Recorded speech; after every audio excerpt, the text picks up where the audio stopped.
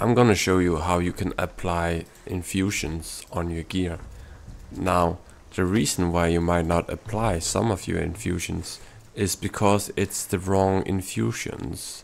You may have to collect more infusions before you can apply, but in order to apply an infusion you need an uncommon item, which means you need to upgrade one of your gear or weapons.